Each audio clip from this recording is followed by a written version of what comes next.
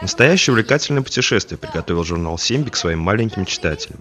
Так любимое областное издание отпраздновало свой юбилей. Журнал намного старше своей основной аудитории. В этом году он справил свое 20-летие. На площадках Квеста юные почитатели журнала могли найти себе развлечения по душе. Послушать предания о делах минувших дней – пожалуйста. Не послушать, но и самим поучаствовать. Например, провести опыт по получению электричества из простой картофельной или смастерить своими руками забавную закладку для книжки.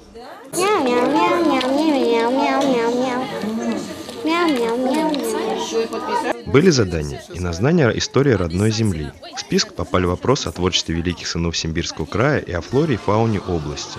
Ведь зарождался журнал как детское приложение к краеведческому мономаху. Впервые, пожалуй, мы как бы вот сделали реконструкцию крепости Симбирской, которая ну, находилась вот где территория площади Ленина сегодня находится.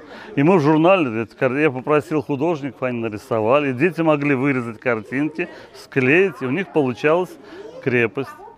С той поры утекло немало времени, но Симбик остался верен заложенным традициям. На его страницах интересно для себя могут найти не только девчонки и мальчишки, но также их родители.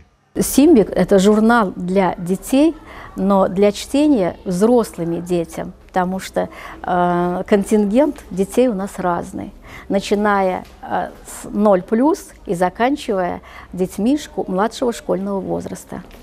Взрослые гости говорили о значении детского журнала и награждали друзей причастных к изданию Симбика. Но журнал «Симвик» — это, наверное, самый любимый не потому, что он детский, а потому, что он действительно представляет широкие возможности не только для детей, но и педагогов.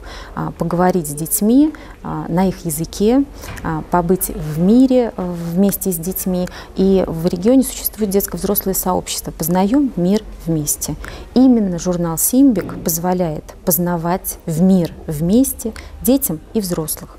А пока взрослые вспоминали историю издания, детское путешествие подошло к концу. На каждой станции ребята получали по кусочку пазла, из которых потом сложилась обложка первого номера Симбика. Но на этом сюрпризы не закончились. Все пришедшие на праздник стали участниками лотереи. А вот без сладких призов никто не остался. Егор Титов, Павел Макаров, Новости Ульяновской правды.